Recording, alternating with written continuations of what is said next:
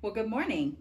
Well, today we're going to be talking about a story out of Acts chapter 6. But before we get started, I'm going to have a moment with your moms. So while I do that, why don't you go ahead and get out your Bible, look up Acts chapter 6, verse 8, and Acts is in the New Testament right after Matthew, Mark, Luke, and John. Okay, so moms, from the lesson 12 packet, this is what I need you to get out. The kids are going to need the copy of the megaphone. They'll need a pair of scissors, a stapler, some tape, and crayons or markers or stickers if you want to let them play with stickers. I understand if you don't. Okay, so kids, are you ready? Today we are learning that we're brave for Jesus. And before we start on our story, I'd like to look at your memory verse. So your memory verse for the last couple of weeks has been in Matthew chapter 28, verse 19. And that says, so go and make followers of all people in the world, baptize them in the name of the Father and the Son and the Holy Spirit. And so that's an important verse because that's what Jesus told us we're supposed to do. So we're supposed to tell other people about Jesus. And our Bible story today tells us about someone who did just that. And the man's name was Stephen. So in Acts, in your Bibles, chapter 6, verse 8, it says, Stephen was richly blessed by God. God gave him the power to do great miracles and signs among the people. But some Jews were against him. They belonged to a synagogue of free men, as it was called, and this synagogue was also for Jews from Cyrene and from Alexandria. Jews from Cilicia and Asia were also with them, and they all came and argued with Stephen. But the Spirit was helping him to speak with wisdom and his words were so strong that they couldn't argue with him. So they paid some men to say, We heard him say things against Moses and against God. Now this upset the people, the Jewish elders, and the teachers of the law. They came to Stephen, grabbed him, and brought him to a meeting of the Jewish leaders. They brought in some men to tell their lies about Stephen, and those people said, this man is always saying things against this holy place and the law of Moses. We heard him say that Jesus from Nazareth will destroy this place.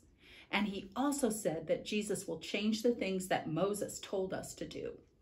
Now, all the people in the meeting watched Stephen carefully, and his face looked like the face of an angel. So Stephen started telling these people about their own history, and all the things in their history and the times when they had doubted God. And he told the Jewish leaders that they had not given their hearts to God and that they don't listen to him. He told them that they were disobedient and that they had turned against Jesus and killed him and that they don't obey God's laws. Now, Stephen didn't get to tell them too much more about Jesus that day because the people got so angry that they threw rocks at him. And even as the people threw rocks at Stephen and hurt him, Stephen forgave the people because he knew Jesus loved them anyway. So here are some questions for you to think about. One, why is it important for us to be brave for Jesus? Two, what bad things can happen to you when you are brave for Jesus? And three, what good things can happen to you when you're brave for Jesus?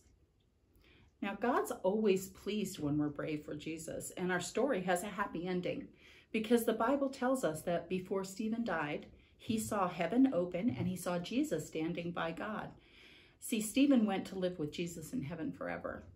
Stephen told the truth about Jesus, and we can do that too. Now, we probably won't have as hard time as Stephen did, and we can be thankful for that. But God does want us to tell people why we believe in Jesus so that all people can live with Jesus forever in heaven. So your craft today is going to be a reminder for you to be bold for Jesus. So let's get our craft supplies ready. Okay, so you should have your megaphone copy and your scissors and your crayons, markers, or stickers right now. And your megaphone copy says that Jesus loves you, or Jesus loves us. And that's true. That's the truth we want people to know and to understand.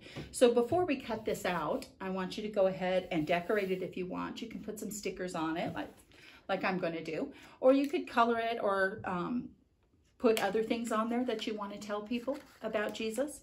And I'm just going to put a few stickers on mine because I like stickers. And when we're done, when you're all done with decorating your megaphone, I want you guys to go ahead and take your scissors and I don't want you to cut hair or fingers or anything else, but I want you to go ahead and cut out around the dark lines on your megaphone. And I've already done that with mine, but I'm gonna do it on here so that we I can show you the steps for making this. So don't cut off the little tabs, you're gonna need those, okay? So we're gonna cut this out. And remember, not sister's hair, not your clothes, not your sister or brother's clothes either, and not the furniture. Okay, so we're gonna use our scissors only for good things today, not for bad. All right, so let's do this and finish cutting this out. And then when you're all done cutting it out, and you know what, it's if you need help, it's okay to ask mom or an older brother or sister to help you because that's why they're there. They're there to help you. And get it all cut out all the way around so that it looks like this, okay?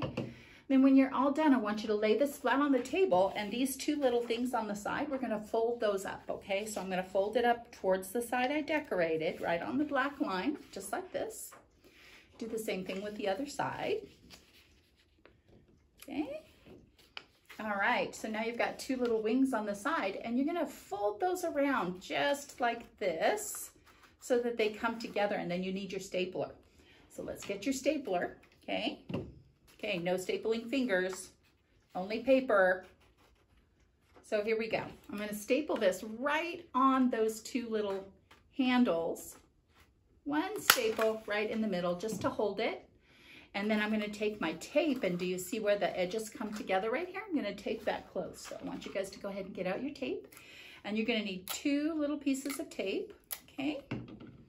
One for the top right here and if it's too long, you can just fold it right up in the inside, okay? Just like that. And then I'm gonna take another piece of tape right here at the back. And I am gonna take this one the other way because that's easier. Tape that together just like that. And this is your handle. And this says, Jesus loves us. And a megaphone is used to amplify your voice. So when you talk into it, your voice gets a little louder. Please don't drive your mommies and daddies crazy with these, okay? But these are this is to remind you that we can be bold for Jesus because Jesus loves us and he wants us to tell other people all about that. So use this to remind you throughout the week to be bold for Jesus, to tell people about him because everybody needs to know. And I will see you back here next week when we're going to talk about a very special lesson for Memorial Day. See you later. Bye-bye.